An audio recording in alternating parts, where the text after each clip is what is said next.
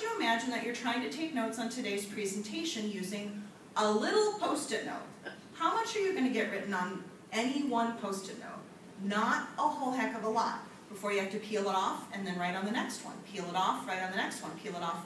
Each little piece of, each little post-it note's only going to contain a little fragment of the talk, a little piece, a little bit of notes about today's presentation. So imagine you're trying to take notes on today's presentation with some blue and some pink. So you've got two different colors, so they're not color coded, you're not getting any help that way. Some of your notes are little tiny blue notes, some of them are little tiny pink notes. And again, not a whole lot written down on either one of the post-it notes before you have to tear it off and write on a new one.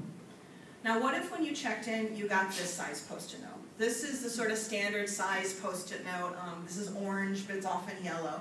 You know, so the standard post-it note, if you got this size and you were trying to take notes on today's presentation, you could actually get a decent chunk, a decent chunk of information on one post-it note before you have to peel it off and then go to the next one to take more notes and so on and so forth. But what if, when you checked in, you got this? Yes, this is the holy grail of post-it notes. the line tablet, for those of you in the back of the room who can't see it clearly. This is the line tablet post-it note. This is the post-it note that no office, no nonprofit organization, no organization buys for its employees, right? I had to buy this for this presentation. MSU, Michigan State University, would not supply this to me. I had to go buy it. I'm like, it's for training purposes. No, we don't buy those. but if you had this size post-it note, and you're trying to take notes on today's presentation, how much could you get on this before you had to peel it off and start writing on the next one? A good chunk of information. Coincidentally, our colleagues in law enforcement, this is probably pretty close to the size that you guys actually truly use in the practice to write down notes when you're taking reports and things like that. Why? Because you can get a lot written down on this size. Okay? So imagine that you're taking notes today actually with all of these. This total gamish. Some on little tiny blue post-it notes, some on orange, some on green. All different shapes, colors, sizes. It's not neatly organized. So you're going to get a few words on one post-it note, a longer stretch on a bigger post-it note, and so on and so on. So at the end of today's presentation, you would have a pile of post-it notes, a completely discombobulated pile of post-it notes of all different colors, shapes, and sizes.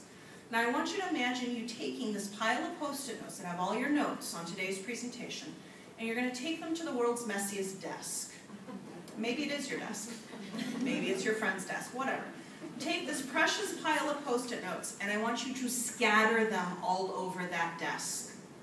I want you to put some on top. I want you to bury some under piles and piles and piles of stuff. I want you to put some in a folder that says the neurobiology of trauma. And I want you to put some in a folder that says vacation policy. Because there's no rhyme or reason to how a traumatic memory is stored. Okay? It goes everywhere. It's totally, totally scattered. Okay? So all the post-it notes on today's presentation are totally scattered across this desk, and now you go back to your regular life. So for law enforcement, they go back to what they need to do. Advocates, you're all going about your business. Now I want you to imagine that 36 hours from now, I come back. Okay, get my little car, go across the border. Why are you coming to Canada? Oh, little demonstration. Why are you here? Because I'm going to find you, and I'm going to say to you, what did I say? Tell me what I said.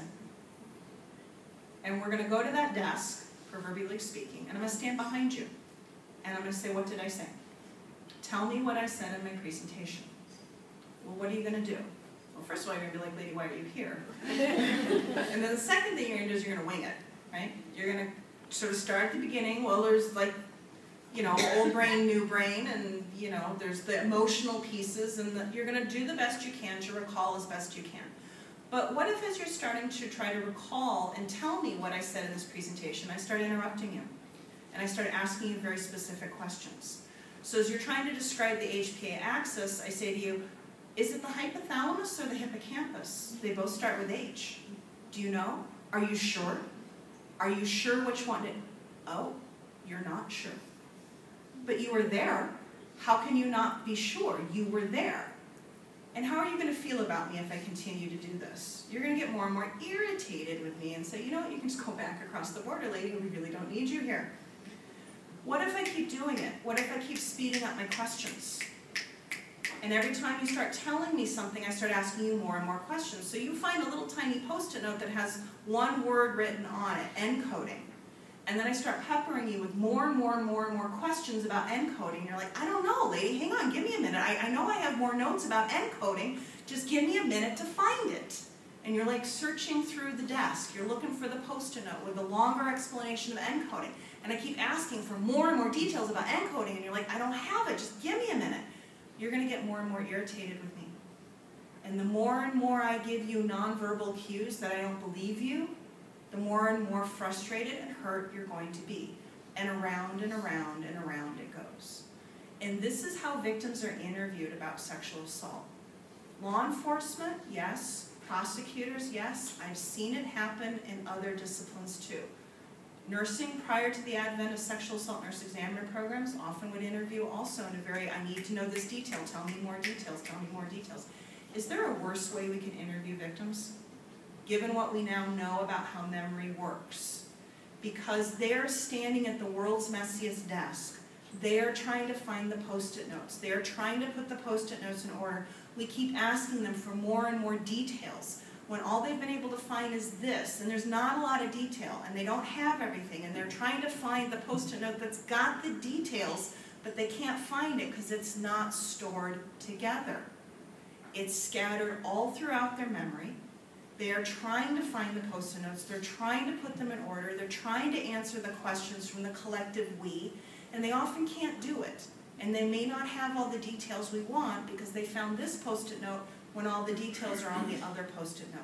And the more that we rattle them when we're asking these questions, the less likely it is that they're going to be motivated to keep looking, and the less likely it is they're going to trust us to tell us the information once they do find it, and the more likely it is they're going to say, I'm good, never mind, I'm here.